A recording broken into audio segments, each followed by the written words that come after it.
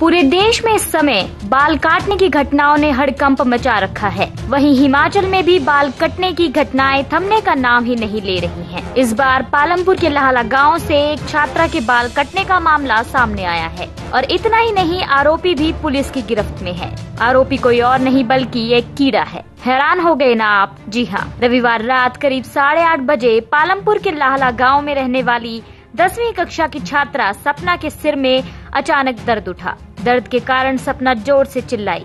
माँ ने देखा कि सपना के बाल कटे हुए हैं और एक कीड़ा उसे लगातार काटे जा रहा है। घर के लोगों ने बड़ी मुश्किल से कीड़े को सपना से दूर किया। वहीं डीएसपी पालमपुर ने बताया कि पुलिस ने मौके पर पहुंचकर कीड़े को पकड़ लिया है। घूमे का ना एकदम में पागल करे थे, फिर यह लड़की दे बाहर कटी थे।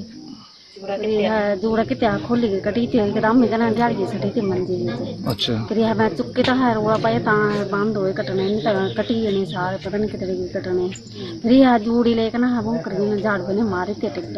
पालमपुर लाला का ये गाँव है जहाँ पे ये घटना घटी है और काफ़ी लोग दूर दूर से देखने भी आ रहे हैं गाँव के आसपास के लोग, जिन जिनको ये खबर पहुँच रही है कि यहाँ पे इस तरह की घटना हुई है बाल काटने की।